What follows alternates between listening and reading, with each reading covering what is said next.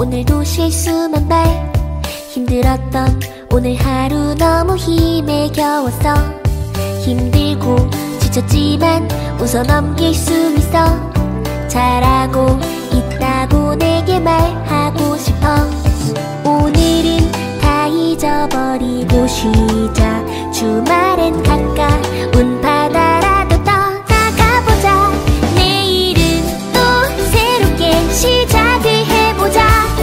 하루하루 나는 열심히 하고 있으니까 저 멀리 큰 바다가 날 부르고 있다. 공항 철도 나와 함께 바다로 달려간다.